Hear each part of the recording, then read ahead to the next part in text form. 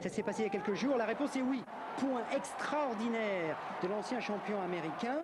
Il était dépassé, il a jeté sa raquette en l'air et il marque le point quand même. Il n'y a que lui pour faire ça. Tout le sport demain à 20h35. Et le match ce soir sur la 3.